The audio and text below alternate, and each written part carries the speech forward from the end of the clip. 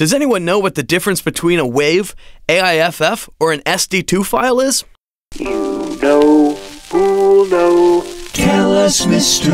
Audio. When considering which file format to use, know that 99 plus percent of the data in a WAV, AIFF, or Sound Designer 2 file with the same sample rate and bit depth is identical. They're all uncompressed PCM, meaning pulse code modulation files.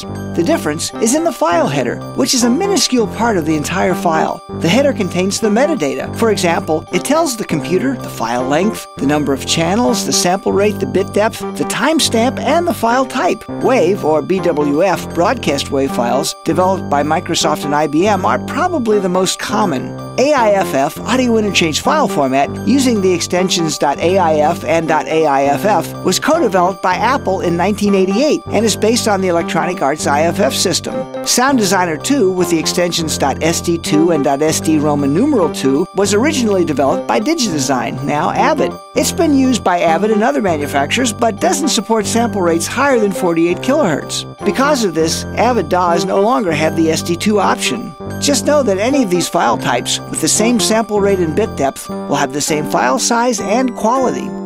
Thanks, Mr. Audio. For more interesting facts about sound, visit Mr. Audio at soundimages.com.